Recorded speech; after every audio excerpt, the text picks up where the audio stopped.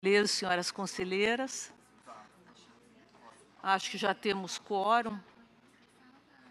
Oito, não é? E podemos, então, começar essa sessão, é, até porque temos uma pauta bastante vigorosa, né? Sempre.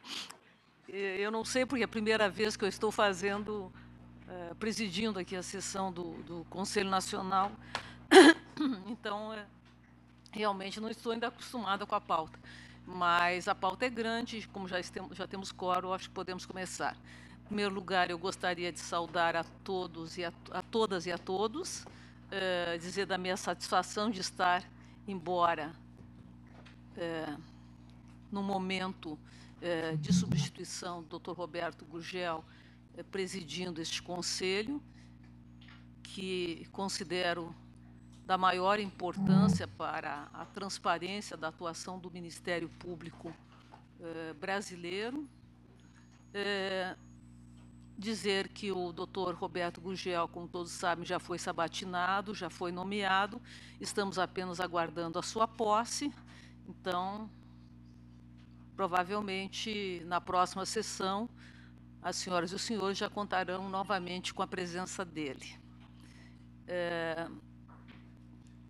Gostaria, como disse, de saudar a todas e a todos, conselheiros, bem como a todas e a todos os demais presentes nessa sessão. Uh, segundo me foi explicado, tem preferência na pauta os processos com, com pedido de não sustentação oral. Sustentação oral, né? Bom, inicialmente te, eh, temos os itens adiados e antes disso eu acho que a ata, né?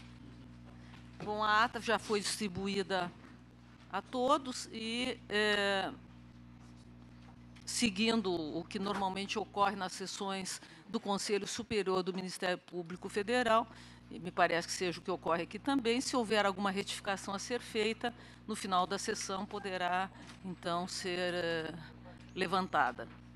É, foram adiados os itens 4, 12, 19, 20, 22, 23, 25, 27, 28, 29, 35, 38, 39, 40, 42, 47, 58 e 59.